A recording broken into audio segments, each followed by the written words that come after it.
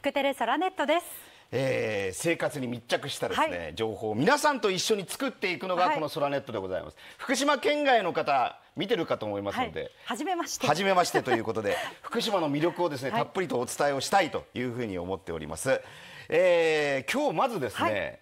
こちらからですねえーアラガスさん、はい。相馬市私昨日あの本日は田植え日和ということを言いましたけど、まさに田植え日和になりました、ということで田植えが始まっております。さあこの田植えが始まりますとね、はい。実は福島の世界が変わります。お。どういうふうに変わるのかこちらの VTR ご覧ください。これ去年5月に撮影したものなんだいいです。綺麗ですよね。でこのですね水田の季節になると、これはご存知ですかどこか北方の恋人坂。あの関係さんふるさとの恋人坂でございますけれども、ねこうやって夕焼けが水田に入るわけでございますよ。ということでこれからがですねほらまさにこのシンメトリーリフレクション水鏡高鏡の季節でございます。美しい。美しいですよね。で今日はですね、こちらです。実はツイッターで先週あたりからみんなの水鏡見せてくれ、はい。これハッシュタグ、はい。これが結構盛り上がりました。主にまあ鉄道ファンの間で始まったんだけど、それがいつの間にか景色に派生して、えーそして福島県でもとっても美しいですね、はい。水鏡の画像がたくさん上がってたんですね。そしてこちらです。私はもう間違いなく福島県は日本一の水鏡の都であるということを訴えたい、はい。これ私の見解です、はい。なぜならば、もうこれ見ればね、はい。わかりますよ、はい。すごいんだ水鏡。まず最初に桜の水鏡からいきましょうか、はい。須賀川市長沼、ね？それから伊達。はい。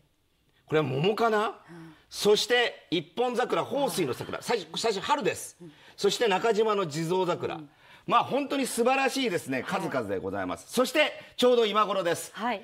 えー磐梯山素晴らしい。そして南湖公園これからこんなことになるんだ。あでね空がまた綺麗ですし、はい。あのこれからね青空が澄んできますからこういう水鏡、そしていわき、海のシンメトリーも綺麗。そして猪苗代湖の亀丸。ね。それから空が空の鏡になってるのが、猪苗代湖天峡湖ですよ青空がこう水田とやっぱり境がなくなるんですよね。あこれね猪苗代のスキー場とか磐梯山の上の方からも見えることか見ることができる。そして飯舘。それから只見線。こんな綺麗なの？これ只見水田に只見線が映ってるんだ車両が。イラストみたい。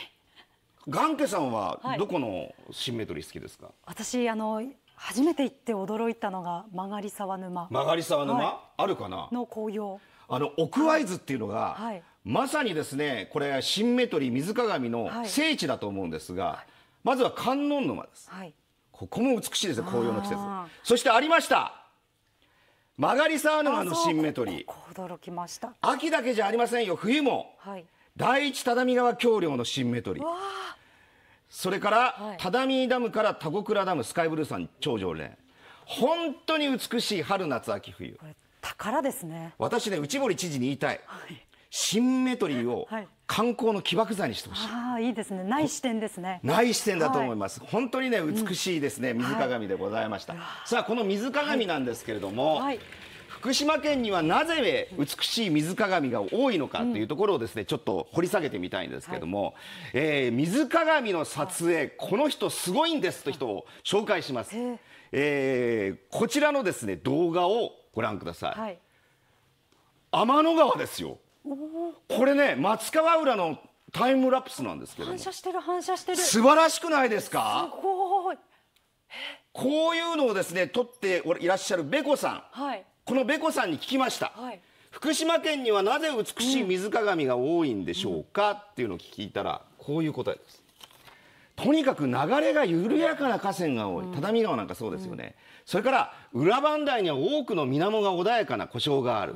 というのが、えーポイントです、そして気象予報士的な視点、はい。私、はい。こちらでございます、もうとにかく鏡そのものが美しい、水田湖川海、はい。そしてその鏡に映る景色がさっきも紹介しましたよね、残雪の山もみじ一本桜新緑の森という多様になってるという。四季折々の風風景ですね。ねえ本当にあの福島に来てですね、はい。皆さん明日青空が広がりますんで、明日のシンメトリー水鏡も素晴らしいと思いますので、緑が映えそうですね。はい。で、はい。それ見たら撮影したくなるじゃないですか、はい。撮影どうやってしたらいいのか、はい。一般の人がスマホで水鏡を撮るときにうまく撮る方法。これでございます。逆さスマホ。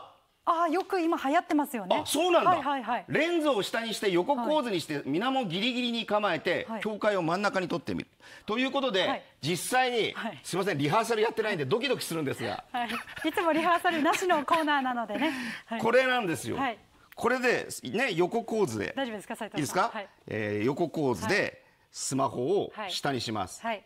そして、はい。こちらでそのままもうはってねこうやって。これは。はって撮るんでしょうねこうやって水ね鏡を見立てたものになり水ます。鏡を見立てて。はい。います、でちょっとじゃあ傾けてみましょうか、こっちね。はい。こういう感じ、はい。これね水鏡が実はね映ってるんですけどもちょっとそこまで角度み見えるかな？見えるかな？見えるかな？ちょっと難しいかな？ごめんなさい。ちょっと難しいですね。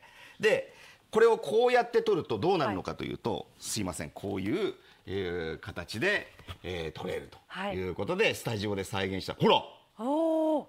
撮れるということで逆さスマホでぜひ皆さんチャレンジしてみていただきたいと思います、すいませんあのリハーサルしてなかったもんですが 段取りがあんまりで良くなくて。もこれがこういうふうに取れるということでございます。はい